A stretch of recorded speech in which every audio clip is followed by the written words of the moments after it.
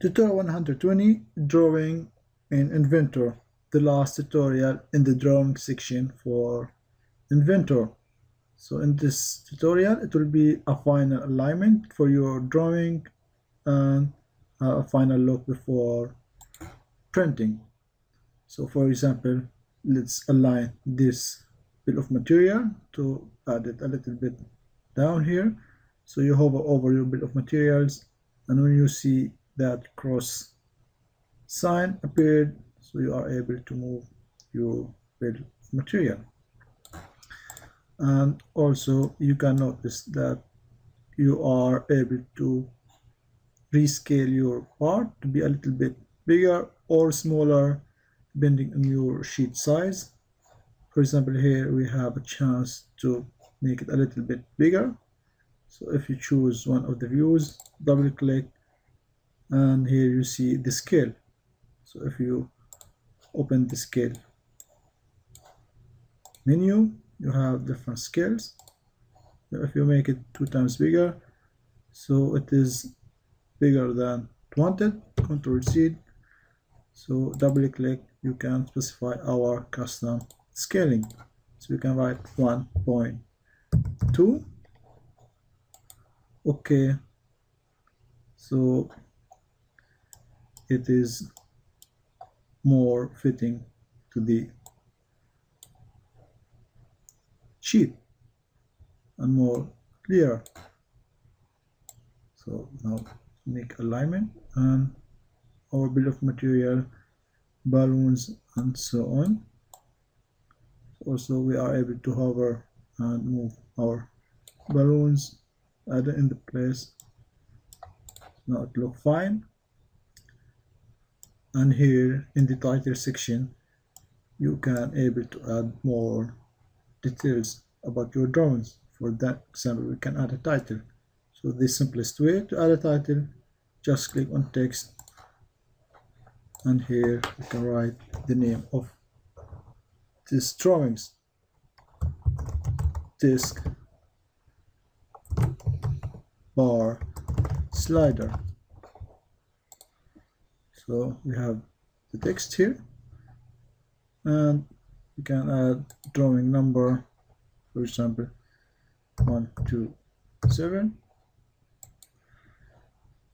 and additional information in the same way. So we add a title we added the bill of materials and everything looked fine.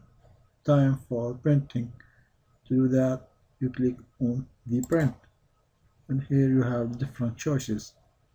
Best fit or one-to-one -one, uh, and so on. And here you are able to rotate add the colors and so on. Just click ok. And here you can choose your printer. I have the PDF printer.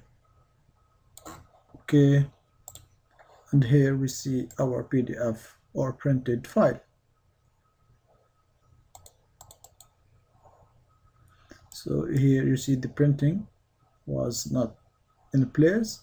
So you have to try again with that. So that is a good practice to have PDF to to control your printing before you see it. So let's try to change the sheet size to A3 so that is an important issue to know exactly your paper size so as we remember we choose the ANSI standard with the millimeter. And here you can see in the layout sheet the size is C.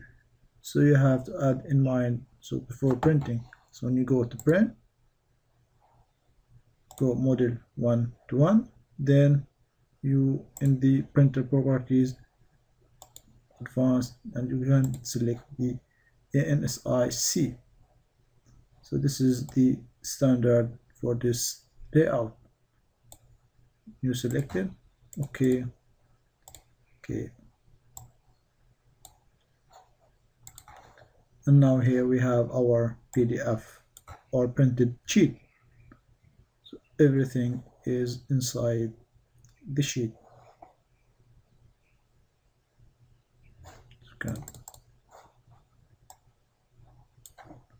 so looks nice and arranged